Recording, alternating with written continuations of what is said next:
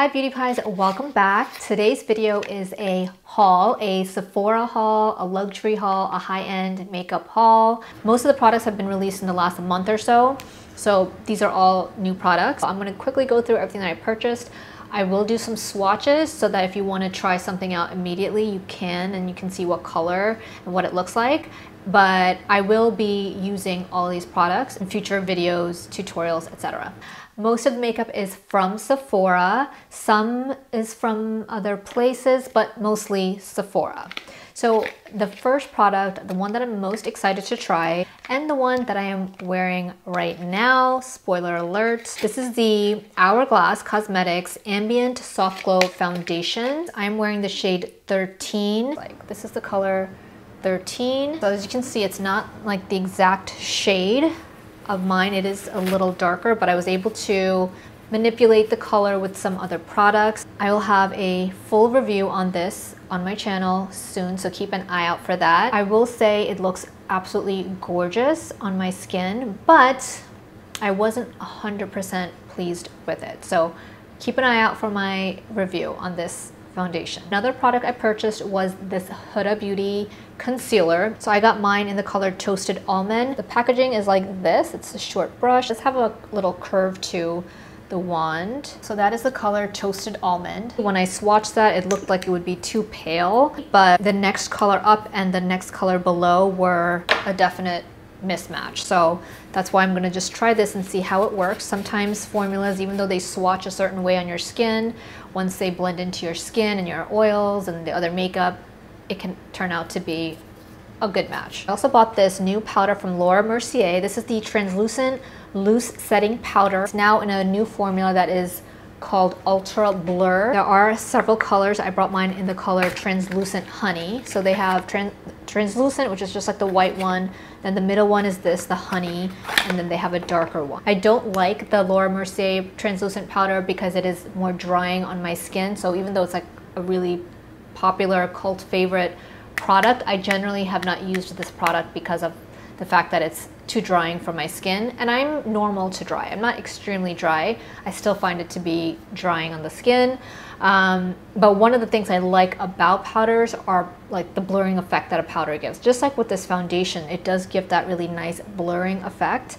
And so that's why, even though I know this formula is too drying for my skin, I still wanted to try it because it's called Ultra Blur. So we know the technology and whatever that they went into the formulation to make something a little bit different from the product that they already have is going to be blurring. So very excited to use that. So that is the color Honey. As you can see, it looks really pale yellow. Planning to use it more as a under eye setting powder. So I think that it's still going to be a nice color. I hope that maybe because of the new formula and that it's more of a blurring formula, it may not be as drying. So the other place that I bought some products from was Jaclyn Cosmetics and I did actually purchase the things, these items from her website because it, the color was not available at Ulta.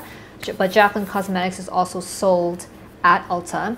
So what I bought was this. This is the bronzer. She just came out with a line of bronzers and I purchased mine in the color Bare Babe. So this is what the color looks like. I have rarely used bronzing powders. If you watched my previous videos, you know I use mostly cream contours and then I usually just set it with a powder.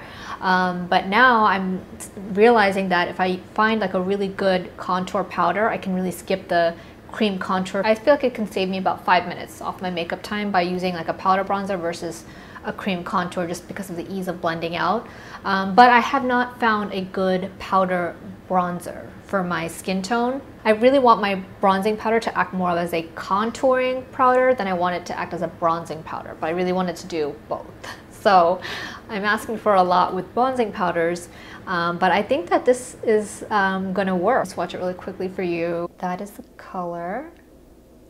So as you can see, it is not too red. I've also read that it's buildable. So when a powder is buildable, and it'll be more sheer and more neutral. So that's why I feel like this might be like a good match for me. Also, it smells like coffee.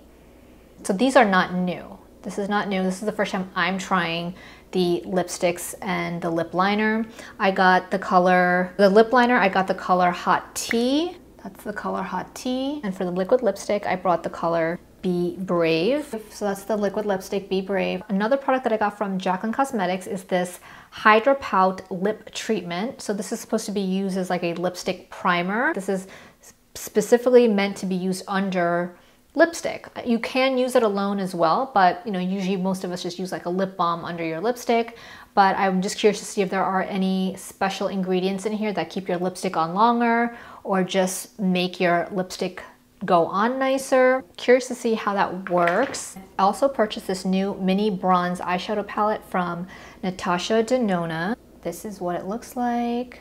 This one, I really liked how the packaging is small and what a great palette for like the summer to fall transition because this can be used fall and this can be used summer still. I like that it has two deeper colors. Usually like you have one deep color and then the other color is not as deep, but both of these deep colors I can really build up the outer corner, which is what I like to do with eyeshadow. So I feel like this could be an all-in-one for me where I don't have to dip into another shadow in order to get the eye makeup look that I want. So I'm gonna do a whole video on this one as well. I brought another two lip products. These are from Rare Beauty. I bought a lip liner and a lipstick. Both, I believe, are new.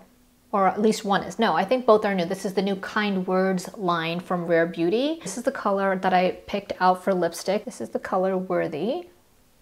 So it's like a brown nude. I think I chose well. So yeah, this is the color. Love that color. So I can already tell that that's gonna be really nice for like a neutral look. The packaging for this is very unique. Never seen anything like it. You have to press down on it to close and then press again to open. For the lip liner, I bought the color what color is this? Gifted. I feel like I didn't choose the right shade with the Jaclyn Cosmetics lip lipstick. I like the lip liner, but the lipstick I think might be a little too peachy for me, but I think this lipstick and this, just from the swatches, are gonna be a really good match for me. So this is the color Gifted, so you can see that it's more of a pink mauve than Hot Tea. And last but not least, I bought a new brow product. I am really into trying new brow products now. I've always used the Benefit Cosmetics brow product, which I really love, but recently I ran out of it and I thought, you know, let me try some new stuff. So I do see the difference when I try different brow products. The color makes such a big difference. Like you would think it's really just the formula, but I do think the right color can make a big difference and can give you different looks too with your with your brows. Like if you want to go for something more natural versus something heavier. The unique thing about this product which is a brow pencil from Patrick Ta this is also very new. This is the color in soft black. What's unique about this is how thin it is. Like this is like a typical eyebrow pencil is probably like this thick and so this is very thin. This is not what I have on right now but um, what, about, what do I have on right now really when I'm looking for a new brow product is I'm just looking for something that's going to make it easier to do my brow. I do have products that I like to use and I'm trying stuff that I like, but at the end of the day, it's like, did I save any time in doing my brows with this particular product? So that's what really intrigued me about this one because it's not just a different brand making a brow product. This actually is completely different because it's so thin.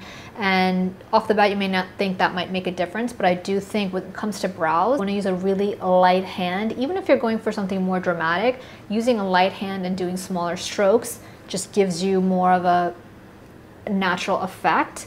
And when you have a slim pencil, and you can hold it and it's not as heavy to hold, it can make it easier to get those feather-like strokes. And this has a brush. I honestly did not think this had a brush because of how thin it was and how lightweight it was. I just happened to pull on the bottom and there is a brush, which is great. That just makes everything easier. So small and slim, brush and pencil. The only thing left is the color. I hope the soft black ends up being a nice color for me. I'll be using all these products in future videos. Some of them are gonna have dedicated videos, definitely the foundation and the eyeshadow palette and maybe the brow products. But that's all for this video. I hope you enjoyed this video. I'll see you in my next one. Bye.